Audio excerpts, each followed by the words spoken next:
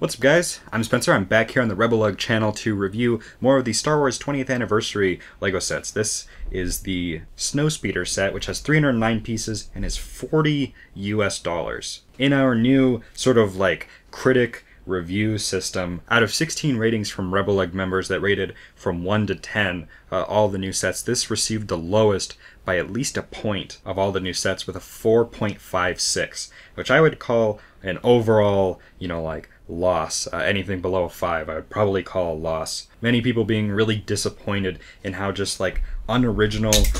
Oh, and how just unoriginal getting another snowspeeder of the same model that we've had just so many times before, whether they're standalone or included in other sets. There's probably at least like half a dozen, which is really just no fun.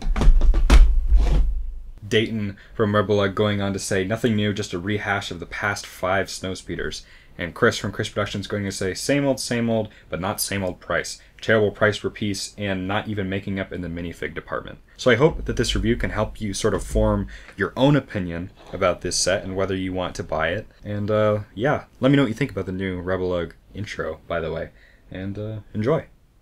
Okay, so this is everything that we get in the set. We get four minifigures, including the promotional Lando, this like dish turret thing over here on the side, and of course the snowspeeder. I think we're just going to start with the snowspeeder and get into why this had the lowest critic rating of all the sets that RebelLUG reviewed. The biggest reason that people were really upset about this one was that the snowspeeder has been made so many times in such similar ways to this that it was just a really boring release, especially for a promotional line such as this. Nick Jensen went as far to say that this is somehow even more gray and boring than the original set, which was literally gray. LEGO has obviously figured out the Snowspeeder design that they like the most, and they're just going to continue remaking it basically indefinitely, it seems like. They also believed that for $40 this was pretty unreasonable to get, because the only sizable thing you end up with is of course the snowspeeder itself, and you do get the turret and four total minifigures, which is quite a bit, but for the perceived value of just getting a snowspeeder, that's kind of ridiculous. What you see with this thing is pretty much what you get, so I'm really just going to kind of give you a look around here. There's a sticker right here on the front, and there's a sticker on either side in two spots, um, and then there's stickers on the sides of the windows right there. And then the windshield itself is printed. And then of course it has that off-white print that, you know, they can't really seem to totally get right.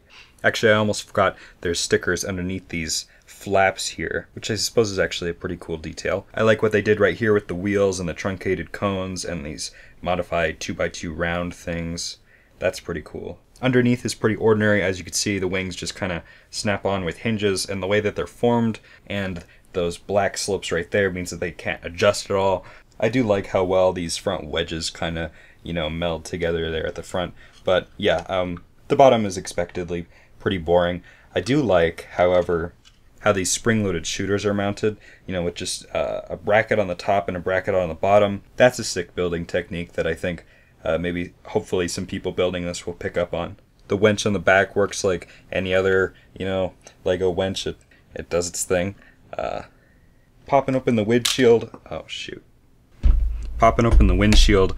Uh, you can see this has two points of articulation, but as you just saw, this this uh, first hinge, I don't know if it's really meant to, you know, be opened. Even it's just kind of there for the mount, and it, you know, totally breaks off the windshield when you try and use it. So they have a smooth hinge here at the back, which works uh, much better to make for this giant uh, windshield assembly here, which I actually think is pretty cool. If we take a look inside, we can see it's actually, you know, I don't know, mildly detailed, I guess. There's some little uh, grates right there, and then the really nice looking printed control panel.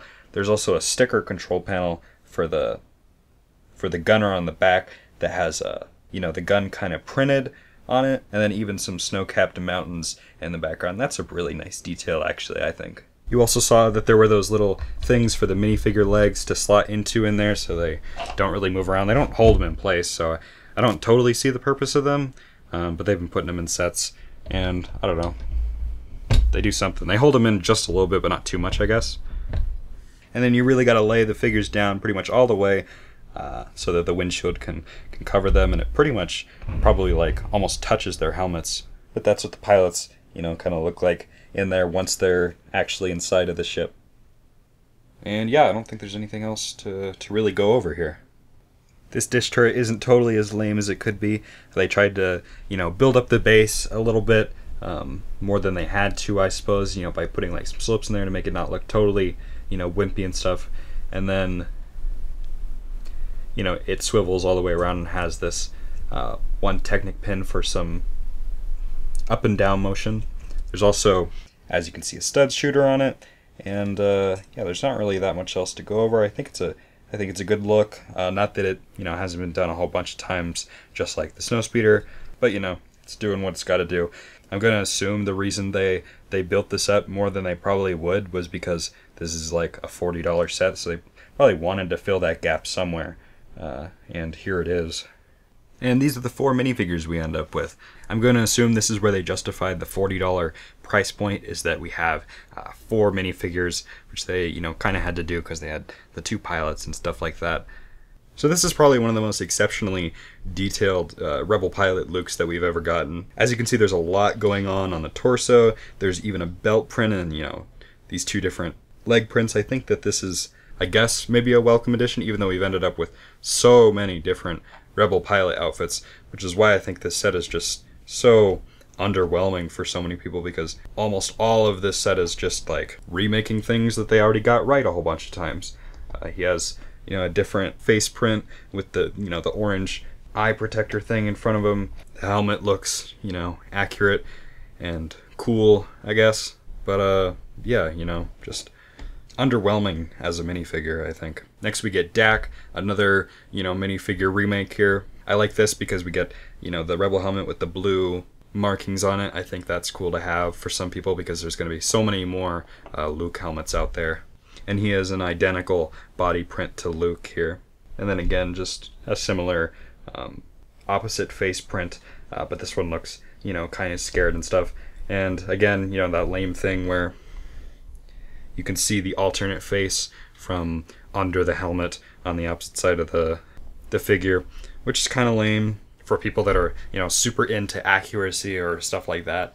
Uh, but I don't know. In my opinion, it's not that big of a deal. I guess. This is our generic Hoth Rebel soldier. He gets this you know classic super big gun here, which is you know fun to see. And I don't know exactly when he's been recolored, uh, but now he has this dark tan hat and, and dark tan legs when they used to just be regular tan. Good looking torso, not a lot to say there, I guess. They did a solid job on this. And then under his backpack that you'll never see, uh, there's some actually pretty cool back printing, I think, you know, detailed because they have this texture here and some, some lines to the bottom and the rest of the belt. Um, that's cool that they would leave that there, I guess, with the intention of putting the backpack. If I had to say one thing, I would probably say I wish that they, you know, like took opportunities when they had these, you know, super generic minifigures that aren't actually characters to give Lego builders, you know, like maybe a, a wider variety of heads or something like that. Like if they had given a different color head or a female head or something like that. But, you know, this face is already super common. Uh, so it's, you know, it doesn't really add to one's collection all that much. And then finally, we land on the 20th anniversary, the gimmick of this set, uh, the the Lando Calrissian figure. I think this is cool to see because this is actually a super rare figure. Unlike the other figures that are in this line of anniversary sets that are really super generic figures, this came in the, the really super rare Cloud City set. Um, and as far as I can tell, it actually looks um, similar, if not identical, you know, when it comes down to the torso print and the face print, which is, you know, like kind of the only thing that they, you know, would be able to change and stuff. And it comes with this old style blaster and stuff like that, which is cool to see. But they ended up changing the cape. The old one had just a yellow cape, uh, while this one is more accurate to the movie, which has this cool, um, unique to this set, double layer cape that's yellow on the inside and light blue on the outside, which I think is so cool to see. It also, you know, makes it thicker and stuff because, you know, literally two capes I could picture some people being upset that they didn't stay like accurate to the thing that they're trying to recreate, the nostalgia of the old minifigure. But I don't know. I think I'm fine with it because the cape is just so cool. If they had changed it to like a blue cape for no reason, that wouldn't you know really add a lot of value or anything to to one's collection or to the market or to the figure, uh, then I would probably be uh, you know upset about it. But this is cool. Um, and then of course, just like the other 20th anniversary figs, it says 20 years Lego Star Wars on the back, and then you get this 4x4 modified tile with the same print on it, uh, just bigger, and it says Lando Calrissian, which is the whole idea of this promotional line of sets. All right, final verdict on this set. I'm going to side with most of RebelLUG here in that this is definitely a boring release. Of course, it's destined to kind of be a boring release because the whole point is that this is like a remake of, you know, a classic set, except this is also a remake of like five other sets. So it's not that nostalgic to me. I don't think, um, just because it's been coming out so much, and then it's not even like a new or cool design. It's a design that many people have seen for many years. Not that much has changed. Of course, they add like little details and new pieces, like these truncated cones, which haven't been around for probably more than like five years or something. But it's still just not that interesting. Um, I think probably the only most interesting part might be the Lando figure. Uh, this is probably my favorite of all the, you know, classic remake minifigures that are in this entire line, but I don't think it justifies the $40 price point. So, I don't know, if you're kind of like a longer term Lego Star Wars collector or builder, just, you know, fan and stuff, I'm probably going to give this a pass. Uh, you know, maybe that doesn't apply to everyone, uh, but if you're really trying to decide what to buy, I would say this one is a pass. So, anyway, let us know what you think of the review, what we can do better, and all that kind of stuff. And uh, subscribe to the RebelLUG channel, the one you're watching right now, uh, for more content coming in the future that isn't just reviews.